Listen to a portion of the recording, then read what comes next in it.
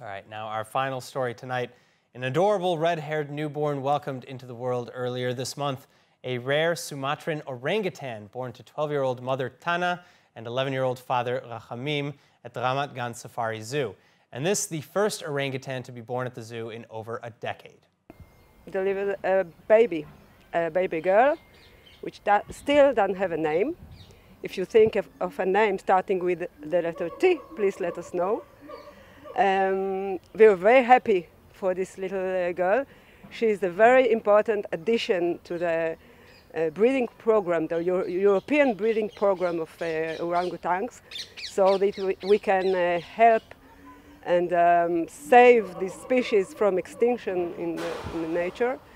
Meanwhile, adding to the excitement, the fact that we can even see the baby at all. Tanna hiding the baby ape under her fur with tight hugs, even from safari workers.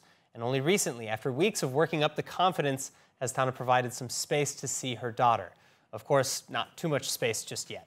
Still very difficult to see the little girl because uh, mom is holding her, or she's holding mom very tightly. And uh, she's tiny, and uh, all the ginger fur is uh, very disguising. Um, so um, it would be nicer to see her maybe in a month when she's a little bit bigger and start to, to roam around and search for uh, interesting things around.